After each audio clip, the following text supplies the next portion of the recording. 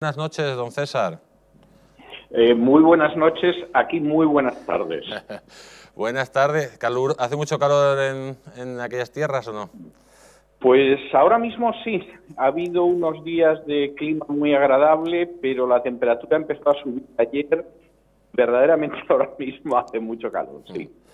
Ayer estuve escuchando su programa La Voz y la verdad que me quedé muy sorprendido muy sorprendido porque dio unos datos escalofriantes. Estábamos hablando de los datos de los famosos menores ilegales que vienen de Marruecos, los MENAS, que están en centros tutelados, generalmente de las comunidades autónomas, y que, pues al parecer, el gobierno de Cataluña les eh, han tenido la genial idea de a estos tipos, que muchísimos de ellos están al borde de la marginalidad, y de casi de la delincuencia, como hemos visto aquí en un vídeo dándose machetazos en pleno lavapiés, pues le van a dar un sueldecito hasta los 23 años de 626 euros, o 605 euros aproximadamente, ¿no?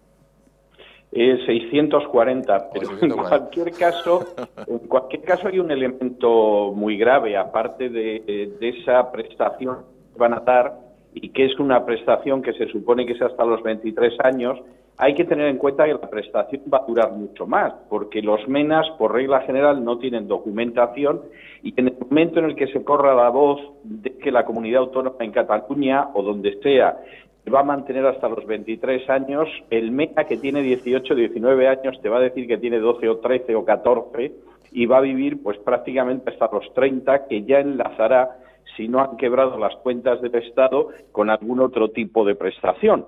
Esto sucede en paralelo, esto es enormemente grave, pero esto sucede en paralelo con el hecho de que la hucha de las pensiones se ha acabado, ya no se puede utilizar la hucha de las pensiones para la paga del mes de julio, y para que dé la sensación de que las cuentas no han quebrado del todo, ni siquiera parcialmente, el Gobierno se va a conceder mañana viernes un crédito a sí mismo para pagar la paga extra de las pensiones del mes de julio.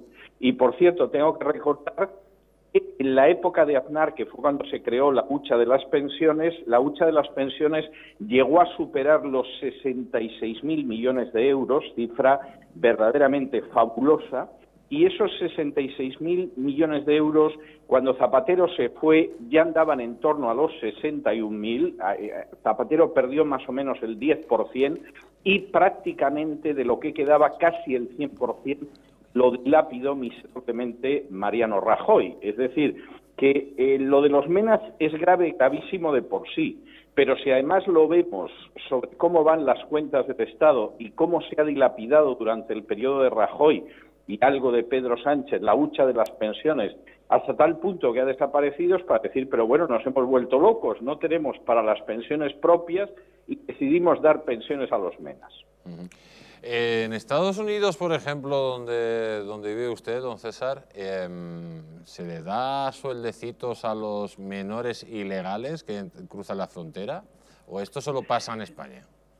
Vamos a ver, eh, lo que sucede en España yo no lo conozco ni lejanamente en Estados Unidos. Vamos a ver, en Estados Unidos tú llegas al país y en el país realmente te tienes que buscar la vida por tu cuenta y olvídate de que te vayan a dar nada. La única excepción que existe a eso, y es una excepción que yo creo que tiene los días contados, va a terminar por concluir en algún momento, quizá en un segundo mandato de Trump, es el trato de que se da a los cubanos, fundamentalmente porque, claro, había un enfrentamiento entre la dictadura cubana y el gobierno de Estados Unidos, y el gobierno de Estados Unidos decidió dar una serie de beneficios a la gente que huía de Cuba.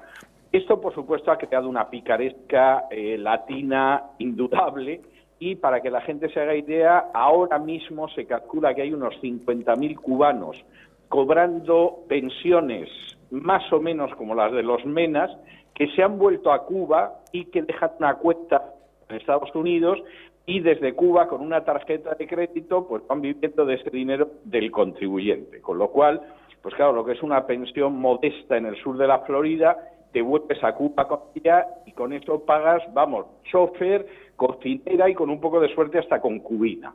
Y eso diría yo que es el único caso que presenta algo de paralelo con la situación en España. Pero claro, está muy limitado a la Florida y muy limitado a los cubanos. Es impensable que suceda en otro estado y que suceda además con gente que viene de otros países y desde luego, vamos, en absoluto de una manera generalizada. La política de inmigración de, España y de algunos países de la Unión Europea es absolutamente un disparate y por supuesto es un es un efecto llamada, porque quién no va a ir a otro país para vivir mucho mejor y que además te subvencione la forma de vida que vas a tener.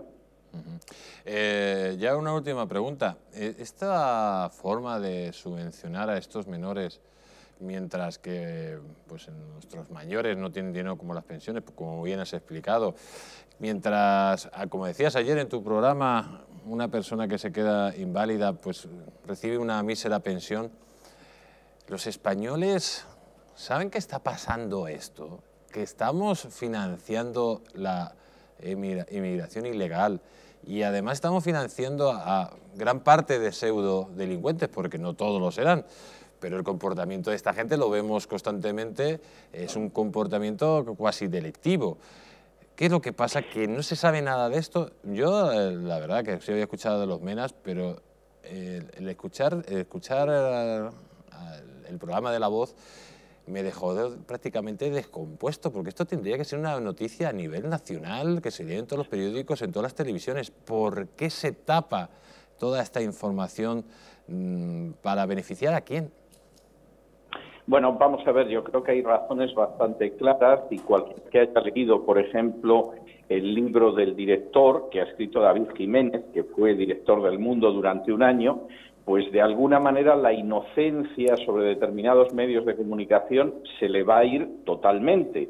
¿Por qué los medios no lo cuentan? Pues porque los medios dependen para su supervivencia de una publicidad que no solamente es privada, no solo se anuncia en las empresas privadas, sino que se anuncia a la Administración del Estado. Y como la Administración del Estado puede ser en cualquiera de sus estratos, es decir, tanto la nacional como la local, como la autonómica, como la municipal, puede ser la clave para que una radio, una televisión, un periódico aguante, pues evidentemente ciertas noticias no se dan.